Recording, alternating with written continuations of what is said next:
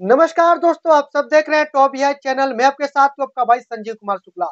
दोस्तों, जितने भी बिहार दुर्गा की तैयारी करने वाले परीक्षार्थी हैं, उन सभी के लिए वीडियो बहुत ही ज़्यादा हेल्पफुल होने वाली है। दोस्तों, अगर आप बारह से पचहत्तर में अपना सीट कंफर्म नहीं कर पाए तो आप सभी के लिए एक सुनहरा मौका।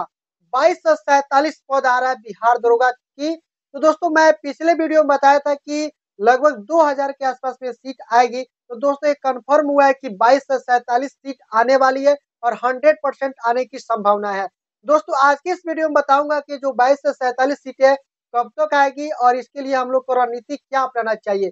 दोस्तों, वीडियो में आगे बढ़ने से पहले एक छोटा सा रिक्वेस्ट है। प्लीज़ वीडियो पसंद तो वीडियो को लाइक कीजिए शेयर कीजिए और दोस्तों, चैनल पर नए आए हैं तो चैनल को भी सब्सक्राइब कीजिए ताकि आपको ऐसे ही लेटेस्ट अपडेट सबसे पहले मिले।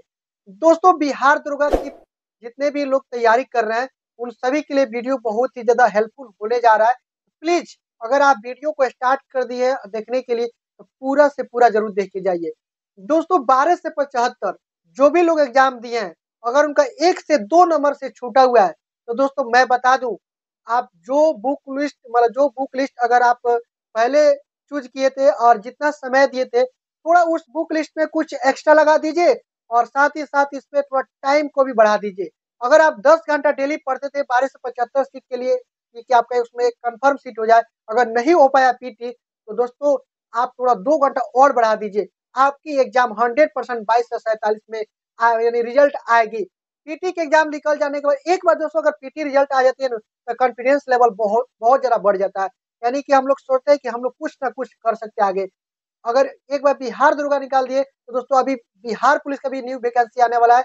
उन्नीस हज़ार चार सौ उनहत्तर सीटें आने वाला है, वो भी आपके लिए अच्छी है। तो दोस्तों बिहार दुर्गा की तैयारी करने वाले जितने भी छात्र और छात्राएँ हैं तो दोस्तों बता दूँ कि आपकी एग्ज़ाम बाईस से सैतालीस की कब होगी? तो दोस्तों मैं बता दूँ कि इसकी एग्ज़ाम मई माह के बाद आपकी एग्ज़ाम होने की संभावना हंड्रेड परसेंट दोस्तों मई माह में आपकी एग्ज़ाम हो जाएगी मार्च जी मार्च में नोटिफिकेशन जारी कर दिया जाएगा कि आपका फॉर्म अप्लाई कब से होगा और मई माह में आपका एग्ज़ाम हो जाएगा।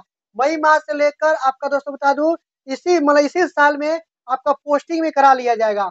अभी दोस्तों बिहार दुर्गा का जो बारह सौ पचहत्तर का पीटी रिज़ल्ट आया, उसका मेंस पेपर 25 फरवरी को होने वाला है। तो जो लोग भी 25 फरवरी की तैयारी में लगे हुए हैं और अगर मान के चलिए बाईचांस पच्चीस फरवरी का आपका मेंस में रिज़ल्ट नहीं आता है तो आप लोग बाईस से सैतालीस में एक बार लग जाइएगा और आपकी हंड्रेड परसेंट होने की संभावनाएँ होगी।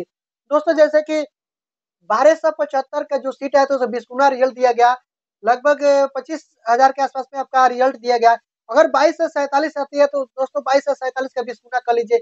बहुत ही ज़्यादा सुनहरा मौका मिल रहा है पढ़ने वाले विद्यार्थियों के लिए। तो दोस्तों, बाईस से सैतालीस पदों के लिए जितने भी लोग तैयारी कर रहे हैं, एक बार कमेंट बॉक्स में लिख कर ज़रूर कहिए मैं आप सभी के लिए एक नए बैच लेकर आऊँगा। जो विद्यार्थी बाईस और सैतालीस पद के लिए तैयारी करें, यानी कि बिहार दुर्ग की तैयारी करने वाले हैं, उन सभी के लिए मैं एक नया बैच लेकर आ रहा हूँ। तो दोस्तों, प्लीज़ इस चैनल को सब्सक्राइब कीजिए और जल्दी अपडेट दूँगा कि कब से बैच आएगा। तो दोस्तों, फ़िलहाल अभी का यही अपडेट है। आप सभी को कैसा लगा हमें कमेंट बॉक्स में लिख कर तब तक के लिए टेक केयर बाय बाय